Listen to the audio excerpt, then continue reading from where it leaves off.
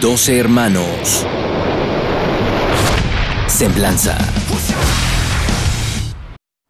¿Qué tal amigos de Dos Hermanos? Nos encontramos aquí en una semblanza más con Alfonso Gutiérrez, portero de Necaxa. ¿Cómo estás, Alfonso? Bien, muy bien. Este, muchas gracias aquí por, por esta entrevista.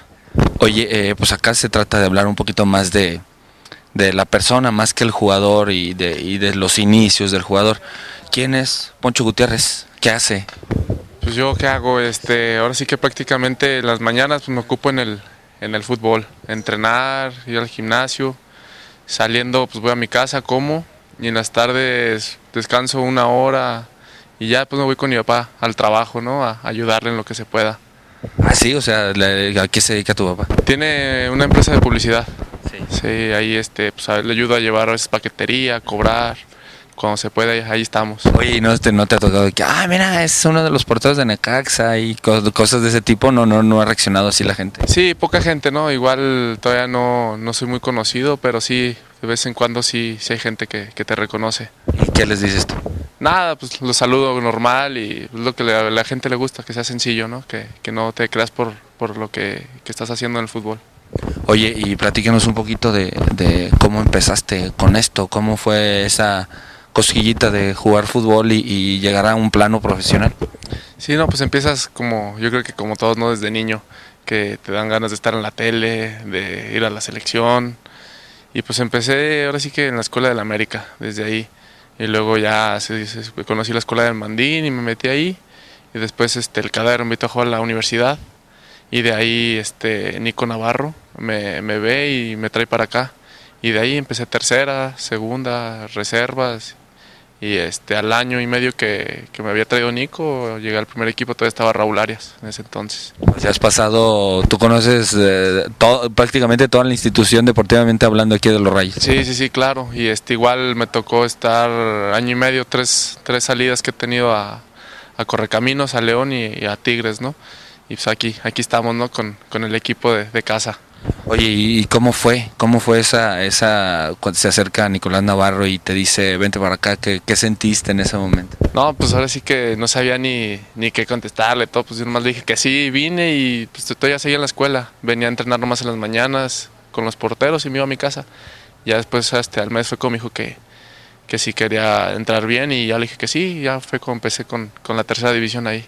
Sí, si no me equivoco, tú eres de aquí, ¿va? Sí, sí, sí, yo soy de aquí. Ahora sí que de los pocos que, que estamos de aquí de Aguascalientes. ¿Cuántos son en el plantel aparte? Está Dani Cervantes y yo.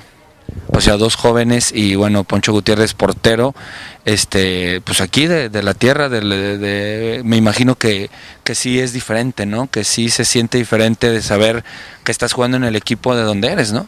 Sí, sí, sí, pues la verdad uno que más quisiera que jugar, ¿no? Pero para eso se trabaja, estar ahí un día de estos, pues ahora sí que representar al Estado y, y al equipo, ¿no? Y pues ojalá y se nos diera esa oportunidad, si no, pues a ver qué más pasa.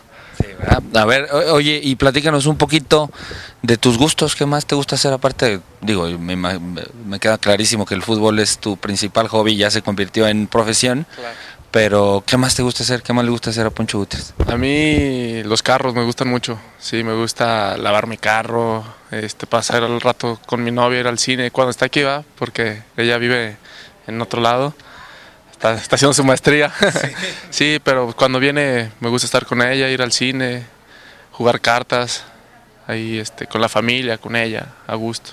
Oye, ¿y, y- y por qué ser portero? ¿Cómo nació esto de ser portero? Digo, porque muchas veces conocemos a, a- a los niños que les gusta meter goles y festejar y ser los goleadores. ¿Y a ti cómo fue esto de ser portero? Sí, bueno, todo esto desde la Escuela de la América. Yo ahora sí era defensa. Y un día no fue el portero y me dijeron, ¿te quieres poner? No, pues sí. Y desde ahí me gustó y me fue bien. Y desde ahí lo fui agarrando y pues te gusta porque eres el héroe o el villano en esa, en esa posición. Ojalá y sea muchas más veces el héroe que, que el villano. sí, sí, sí, no, hay que, hay que tratar siempre de hacer las cosas bien. Oye, Poncho, y, por último, este, ¿qué, le, qué le dirías a toda esa, gente, a todos esos niños que ven en- a los jugadores de Necaxa como un ejemplo para eh, saltar al plano profesional? ¿Qué les dirías tú a esos niños? No, que si quieren estar en esto, que le metan primero al estudio, que esa es la, la base, ¿no? Y también para no perder a veces el piso, el estudio es muy bueno y que trabajen, si les gusta esto, que trabajen sin miedo al, al fracaso. Ok, aquí estuvo Poncho Gutiérrez en esta nueva semblanza, lo cual te agradecemos, Poncho, este, de, de estar aquí en este espacio. Y, y, pues, ¿qué mensaje le das a la afición? Que nos sigan apoyando a, a los hidrocálidos y a los hidrorrayos. Ya está. Aquí estuvo Poncho Gutiérrez en la semblanza. 12 hermanos. Semblanza.